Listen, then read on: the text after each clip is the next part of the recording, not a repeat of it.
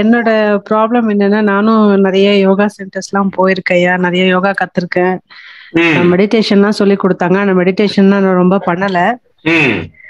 இந்த energy activation அந்த மாதிரிலாம் ஃபீல் பண்ணியிருக்கேன். ம். பட் ஒரு கட்டத்துக்கு மேல எனக்கு என்னன்னா எனக்கு மனசுக்கு வர கவலைங்க வந்து அது எப்பவும் வந்துகிட்டே தான் இருக்க மாதிரி இருந்துச்சு. நான் யோகா பண்ணாலும் எது பண்ணாலும் அது நம்மளுக்கு அந்த ஒரு மாதிரி பாஸ்ட் இன்சிடென்ட்ஸ்லாம் ரொம்ப ஞாபகத்துக்கு வந்து நம்மளுக்கு ஒரு ரிலீஃபே கிடைக்கல அதுல இருந்து அப்போ ஐயாவோட பேச்சு கேட்டும்போது தான் அவர் சொன்னாரு அதுக்கு நீங்க எதுவுமே பண்ண வேண்டியது இல்ல அப்படின்னு சொல்லி சொன்னாரு. அப்படிதான் நான் புரிஞ்சுக்கிட்டேன் அதை.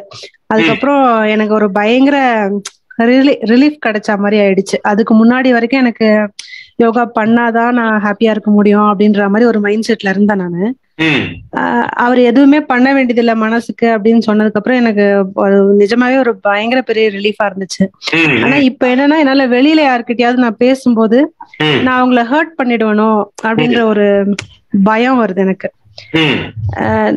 என்னால வந்து பகிரங்கமா அவங்க கிட்ட வந்து எதையும் எடுத்து சொல்ல முடியல. எனக்கு வர இயற்கையான உணர்வை அப்படியே அங்க வெளிக்காட்ட முடியல.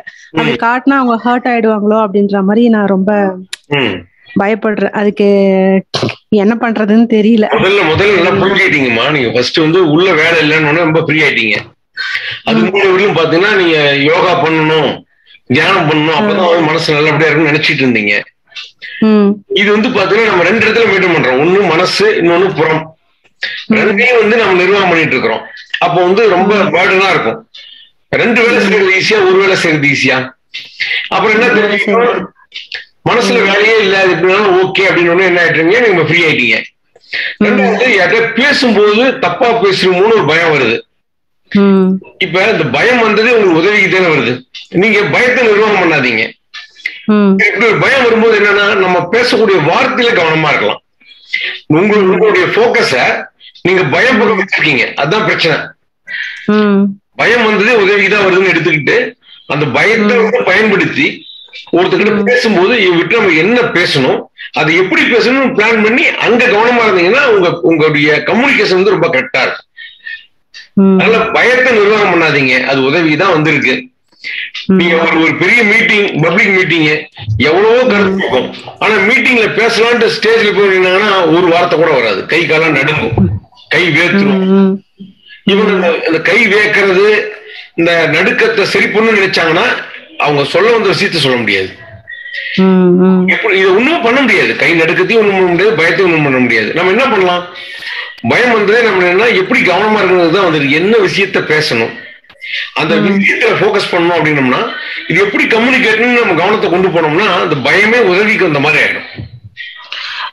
இந்த- மாதிரி யோசிக்கும் போது இது ரொம்ப ரொம்ப ஓவர் சிந்தனையா ஆயிடுற மாதிரி எனக்கு ஒரு சம்டைம்ஸ் ஒரு ஃபீல் வருது. ஏன்னா இப்போ நான் ஏன் இப்படி இருக்கேன்? இந்த உணர்வு ஏன் வந்துச்சு? அப்படின்னு ரொம்ப அதுக்குள்ள ரொம்ப திங்க் பண்ண போயிடுற மாதிரி இருக்குது. ஏதோ ஒரு வகையில வந்து உங்களை குற்றம் கண்டுபிடிக்கிறீங்க. எனக்கு ஏன் இப்படி பயம் வருது? நான் ஏன் இப்படி இருக்கேன்னாவே உங்களை குற்றம் கண்டுபிடிக்கிறீங்க. உங்களை குற்றம் கண்டுபிடிக்கிறேன்னா என்ன அர்த்தம்? உங்களை நீங்க ஃபோக்கஸ் பண்றீங்க. நம்ம நம்மளை நாமளே ஃபோக்கஸ் பண்ணோம்னா நம்மளால கண்டிப்பாக செயல்படவே முடியாது. ஃபோக்கஸ் பண்ண வேண்டியது நம்முடைய அவுட்ரு தானே தவிர இன்னர் கிடையாது. இன்னர்ல ஃபோக்கஸ் பண்றவர்களும் நம்முடைய செயல்பாடு தோல்வியா தான் இருக்கும். குறைவுடையதா தான் இருக்கும். நீங்க உங்க ஃபோக்கஸ் அவுட்ரு கொண்டு போங்க. இப்ப நீங்க ஒரு டார்ச் லைட் எடுத்து கண்ணுக்கு நேரம் அடிக்கிறீங்க. உங்களை ஃபோக்கஸ் பண்றீங்க. என்ன ஆகும்? கூசும். என்ன இருக்குன்னு கூட தெரியாது. நம்மளால செயல்படவே முடியாது. இதே ஃபோக்கஸ் வெளியே நோக்கி அடிங்க. உங்க நீங்க கிட்ட கூட இருந்துக்குங்க. நீங்க பார்க்க வெளிச்சமா இருக்கிறது தான் முக்கியம். நீங்க அங்க அடிச்சு பாருங்க. யார் இருக்கா எப்படி பயணிக்கணும் எங்க கால் வச்சு நடக்கணுங்கிற அளவுக்கு உங்களுக்கு வழி தெரியும். அதனால உங்களை குற்றமே கண்டுபிடிக்காதீங்க. நீங்க சரியா தான் இருக்கிறீங்க. வந்து இப்படி வருது நான் ஏன் இப்படி இருக்க தேவையே இல்லை. உங்களுக்கு வரதெல்லாம் உதவிக்கு தான் வருது. தேவைன்னா எடுத்து நம்ம செயலுக்கு கவனமா பயன்படுத்திங்க தேவைன்னா அது என்னமோ இருந்துட்டு போட்டு நாம என்ன செய்யணுங்கிற செயல் பக்கம் வந்துருங்க அவ்வளவுதான். நம்ம கவனம் என்பது செயல் பக்கம் வர்றதுதான் மிகச் சரியானது. இந்த மாதிரி நீங்க எடுத்துக்கணும்னு சொல்லும்போது நம்ம ஏதோ ஒரு ஒரு ஒரு ஒருத்தரை வந்து பத்து பேர் கிண்டல் பண்றாங்கன்னு வச்சுப்போம் ஒரு எக்ஸாம்பிளுக்கு. இல்ல ஏதோ ஒரு ஒரு ஜஸ்டிஸ் அங்க நடக்கல அப்படின்னும் போது நம்ம அங்க குரல் கொடுக்கணும் அப்படின்றது என்னோட உள்ளுணர்வா இருக்குது சம்டைம்ஸ் அப்போ வந்து அப்படி குரல் கொடுக்கும்போது நம்மளுக்கு வந்து அது சரியா தப்பா நம்ம சொல்றது வந்து நம்ம சொல்ற கருத்து சரியா தப்பா அப்படின்ற. ஆராய்ச்சியும் போயிடுது. அகைன் நீங்க சொல்ற மாதிரி நான் எனக்குள்ளேயே தான் நம்ம பேச சரியா தப்புன்னு கன்ஃபியூஸ் ஆகுறீங்க. நீங்க கவனமா வெளியே பாருங்க. ஒருத்தர் ஒருத்தர் வந்து அவமானப்படுத்துறாங்க கஷ்டப்படுத்துறாங்கன்னா நீங்க தாராளமா உங்களுக்கு குரல் கொடுக்கலாமே. உங்க அறிவுக்கு நியாயம்னு பண்றதை நீங்க தாராளமா நீங்க செயல்படுத்தலாமே. ஒரு ஒரு மனிதர் அப்பாவே இருக்கிறாரு. அவங்க நாலஞ்சு பேர் சேர்ந்து கிண்டல் அடிச்சிட்டு இருந்தாங்கன்னு வச்சுக்கோங்க. நீங்க அந்த அப்பாவி மனிதருக்கு நீங்க குரல் கொடுக்கலாமே. சரிதானே? நீங்க வந்து நம்ம இந்த இதுக்கு குரல் கொடுக்கறது சரியா கொடுத்துருவோமா? நம்ம சரியா பேசுவோமா? நீங்க உள்ள கவனிச்சீங்கன்னா என்ன ஆகும்? உங்களால சரியா வெளியே செயல்பட முடியாது. உள்ளுக்குள்ள எப்படி வேணா வந்துட்டு போட்டோம் நம்ம அறிவு என்பது போக்கஸ் பண்ண வேண்டிய இடம் வந்து புறம்தான். நீங்க சரிங்க. குரல் கொடுக்க வேண்டியது மிக முக்கியமானது தேவையானதுங்க. பண்ணலாமே. அந்த சூழ்நிலை எப்படி நம்ம குரல் கொடுக்கலாம்? இன்னும் யாரையா கூட ஹெல்ப் கூப்பிடலாமா? நம்ம ஒரு சக மனித நேயத்தோட நம்ம சக மனிதனை வந்து நம்ம வந்து காப்பாத்துறது நம்ம வேலை. தாராளமா அதை வெளியே செய்யலாமே. தவறு ஒண்ணும் இல்லையே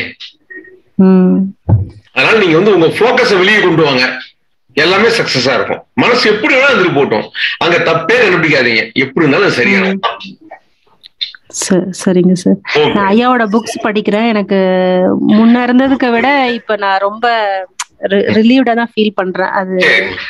அந்த விதத்துல நான் ரொம்ப தேங்க்ஃபுல்லா தான் இருக்கணும் ஐயா உங்களுக்கு எல்லாருக்குமே. ஆமா கண்டிப்பா. இன்னும் இன்னும் நீங்க எல்லாருமே வந்து கேம்ப் ஒன்று அட்டன் பண்ணணும். என்னதான் நம்ம ஜூம் மீட்டிங் அட்டன் பண்ணாலும் ரெண்டாவது படிச்சா கூட ஒரு கேம்ப்ல கலந்துக்கும் போது நேரடியாக ஐயா பேசும்போது நம்முடைய சந்தேகங்கள் அப்பப்ப நம்ம கேட்கும்போது நம்ம வந்து தெள்ள தெளிவாக நம்ம புரிஞ்சுக்க வேண்டியதை புரிஞ்சுக்குவோம்.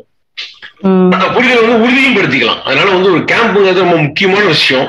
அதனால வாய்ப்பு இருக்கிறப்ப நீங்க கேம்ப்ல கலந்துக்குங்க. நீங்க எந்த ஊருமா நீங்க நான் சவுத் ஆப்பிரிக்கால இருந்து பேசுறேன் சார். இப்ப வெக்கேஷன் வரும்போது நான். பிளான் பண்றேன். இப்ப வந்து நீங்க வந்து எத்தனையோ கேம்ப்லாம் யூடியூப்ல டவுன்லோட் யூடியூப்ல இருக்கு. நீங்க அந்த கேம்ப்லாம் கேம்ப்ல ஜூம் மீட்டிங் கலந்துங்க பர்சனலா பேசணும்னாலும் போன்ல பேசுங்க. அப்படிலாம் பேசும்போது இதுல இருந்து சீக்கிரம் நீங்க வந்து விடுபட்டுறலாம். இந்த வேலை இல்லைன்னு நீங்க கண்டுபிடிக்கிறது மிக முக்கியமான விஷயம். வேற ஒண்ணுமே இல்ல. மனசு எப்படி வேணா இருக்கலாம். நமக்கு அங்க எந்த வேலையுமே இல்ல.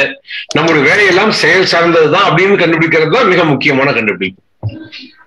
சரிங்க சார் ஓகேங்க ஓகேங்க. ரொம்ப மகிழ்ச்சி நீங்க அங்க இருந்து பேசுனது. நீங்க தொடர்ந்து நீங்க ஜூம் மீட்டிங்ல கலந்துக்குங்க. எல்லா புக்கும் ஃப்ரீ டவுன்லோட் இருக்கு.